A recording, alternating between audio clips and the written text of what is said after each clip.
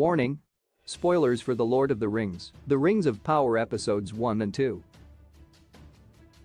The shadow of Sauron falls quickly in Amazon Prime's long-awaited prequel series, Lord of the Rings, The Rings of Power, but his appearance may seem strange to viewers familiar with Peter Jackson's Lord of the Rings trilogy. The most well-known enemy against Middle-earth's peace and prosperity is introduced less than seven minutes into the first episode as the most devoted servant of Morgoth.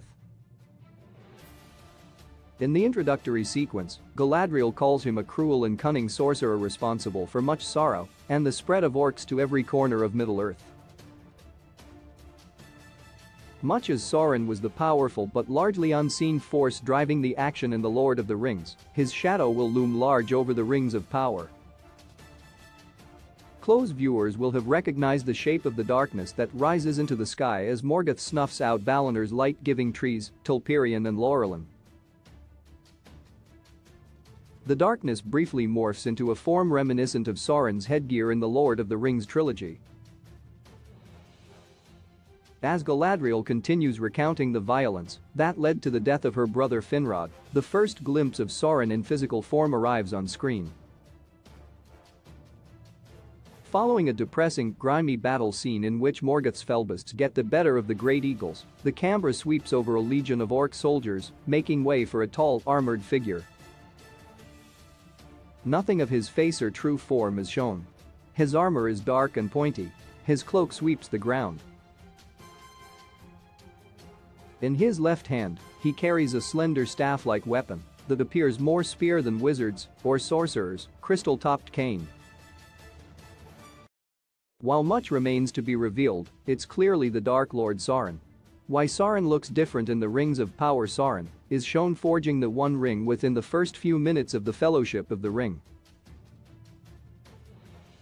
His previous appearance is far more visually distinct since he is highlighted by the fires of Mount Doom. A close-up of his headgear is featured before a full-body shot reveals armor that appears to be more bulky than the Rings of Power version. The six spikes rising from Sauron's headgear are still there, but Amazon's Sauron has additional horizontal spikes jutting out from the sides. The visual similarities between the two depictions of Sauron may come from John Howe, who was Tolkien's illustrator for the Silmarillion and did concept art for the Lord of the Rings movies. Howe also serves as one of the concept artists for the Rings of Power. The biggest difference between Peter Jackson's Sauron and Amazon's is Sauron's weapon of choice. In the Fellowship of the Ring, Sauron wields a huge mace which he uses to sweep several men and elves off their feet and fling them across the battlefield. In the Rings of Power, Sauron bears what appears to be an ordinary, but still terrifying, spear. He also appears to favor his left hand in the new series, while in the movie he fights with and carries the One Ring on his right. Overall, the Sauron shown briefly in Rings of Power is sleeker of form and more reserved in function. Amazon isn't trying to copy Peter Jackson's depiction of this Maia turned evil. In fact, with several Rings of Power characters suspected of being Sauron or being possessed by him, there may not be much of the Sauron glimpsed in the introduction shown throughout the rest of the series.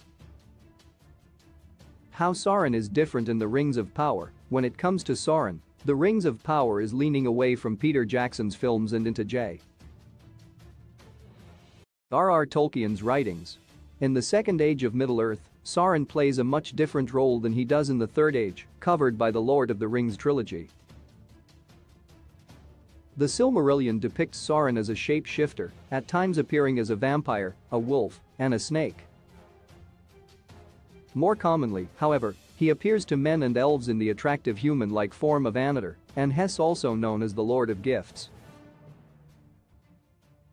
Sauron's whole plan is to achieve Morgoth's goal of taking control of Middle-earth, but through politics, guile, and treachery instead of via open war. According to Christopher Tolkien's fifth volume of the history of Middle-earth, Sauron is no longer able to take on an attractive form after the fall of Numenor which is likely to be shown in the Rings of Power.